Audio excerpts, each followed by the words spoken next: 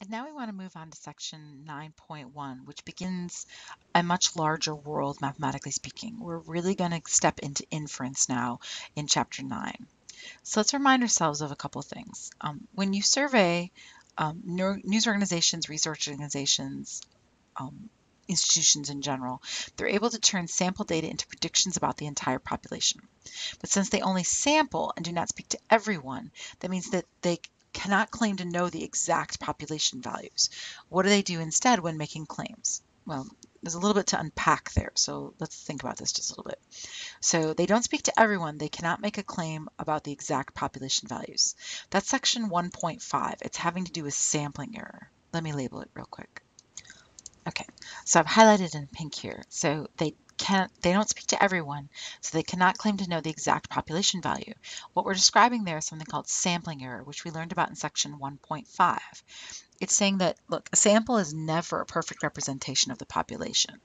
So because by virtue of the fact that it's a sample, by virtue of the fact that it's small, it can never be exactly representative of the population. So we instead think, okay, well, I'll take my sample values and I'll build an interval. Um, so build a window, window slash interval from sample values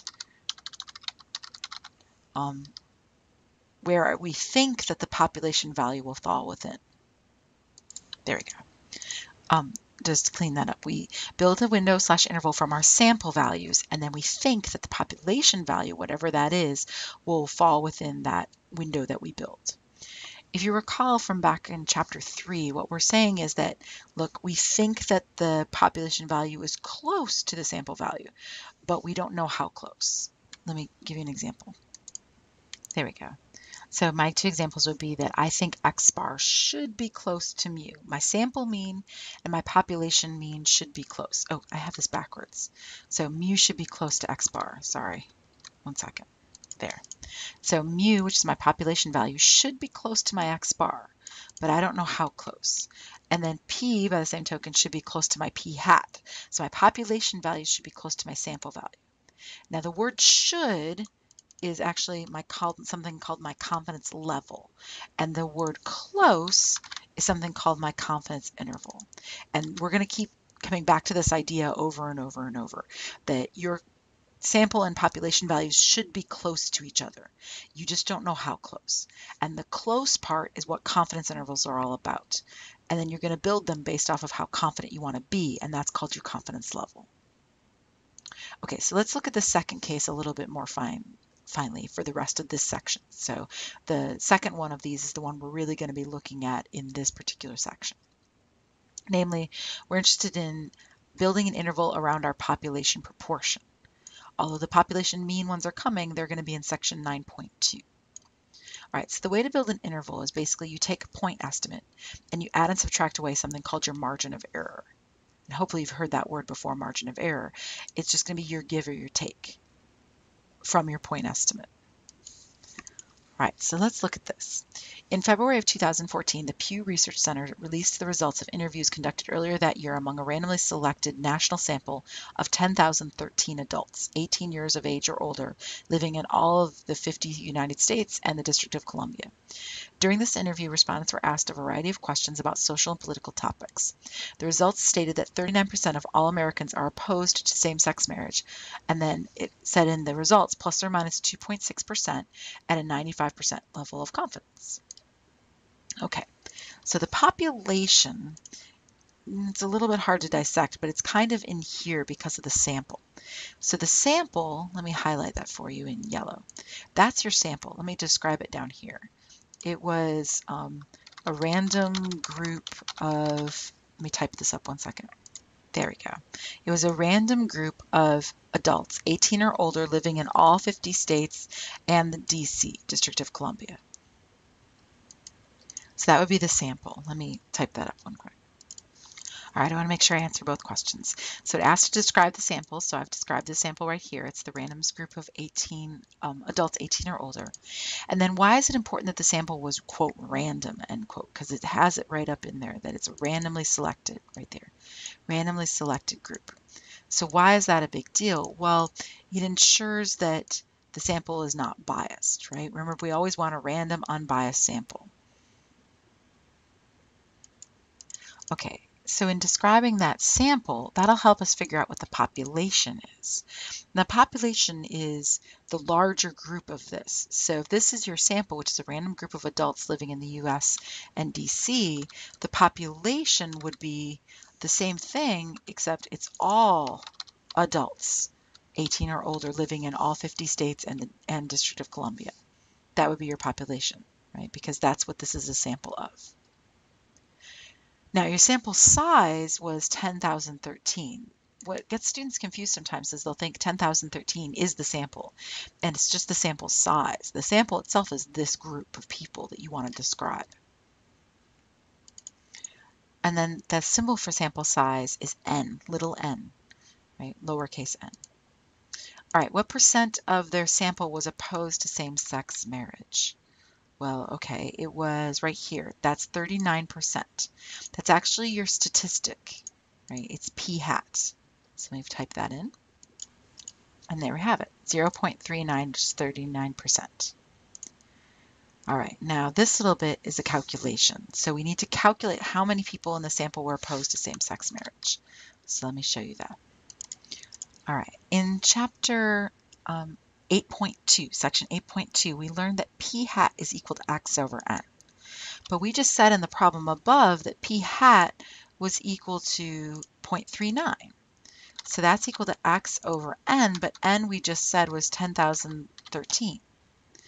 So to find x, you just need to multiply both sides by that 10,013. If you do it over here on the right-hand side, these will end up dividing away to nothing, right? They'll cancel. So you do it over here. And that means that you also have to do it over on the other side, right? So you have to multiply this side over here by 0.13 or 10 point, I'm so sorry, 10,013. There we go. All right, so we need to grab a calculator. Let me go grab it.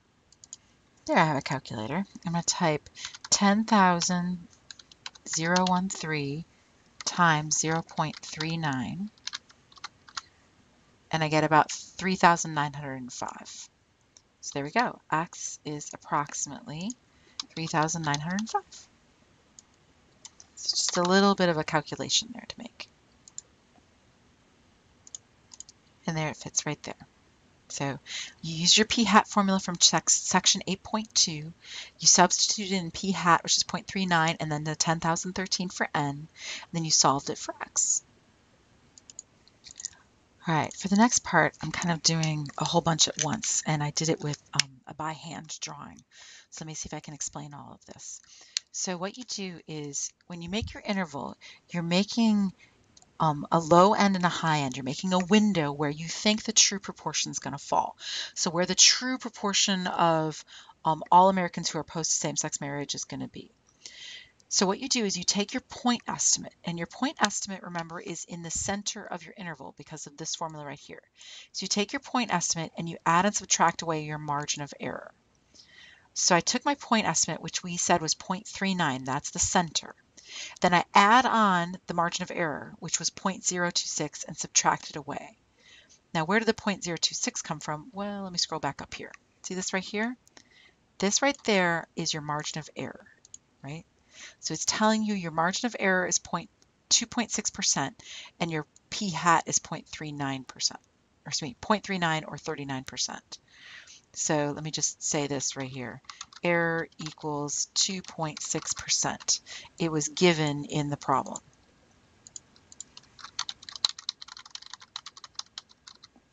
Okay. So you take your error, you add it on. So I made it into a decimal. Decimals are way more useful to us at this point than percentages mo most of the time. So I made a decimal. I took 0.39, 0.39, and I add on 0.026. So make them both decimals, and then I take 0.39 minus 0.026. It's a little bit like the give or take for standard deviation, but there's a bit more going on here for that. But it's essentially a give and a take. Okay, so that's where those two numbers came from, and I showed the calculations. The point estimate is in the center. Okay. So the confidence interval itself is, let's see, interval, is the two numbers that we find. And that's why I wrote up here, confidence interval is this whole big thing. It's the entire region from 0.364 to 0.416. Done. That's the confidence interval. Or if you like, you can make them both into percentages, 36.4% and 41.6%. Either way, it's fine. Sometimes the one on the right is more useful for interpretation value. Now the point estimate was the center, and that's p hat, which was equal to 0.39 or 39%, whichever way you want to think of it. Okay. There it is, 0.39 or 39%. And that point estimate, remember, was in the exact center of that interval, right? So it's right here, it's in blue. It's that blue line right in the middle of the interval, the center line of your window, if you will. Now the error I've labeled in kind of green, it's this distance from the edges to that center, or this is from this edge to the center. Or you could think of it as, hey, you know, if I took this big pink region from 0.416 to 0.364 and I cut it in half, I would know what the error is. So it's half the width. All right, so that error will be the distance from the edges to the center, right? It'll be how far away those far bars are, that 0.416 is from the center, or 0.364 from the center. But because it's a distance, it's always positive, no matter what. Error is always a positive number. You just add or subtract it away. Now the width of the interval is actually 0.052. Let me prove it to you. The width is the high number, 0.416, minus the lowest number, which is 0.364. And when you subtract those two, you're going to get 0.052.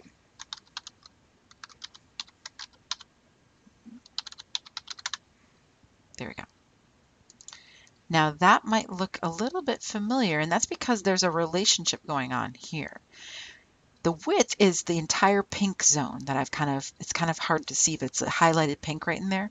So that pink zone, and then the error is the green part, but there's two errors to make up the width. So let me write that up.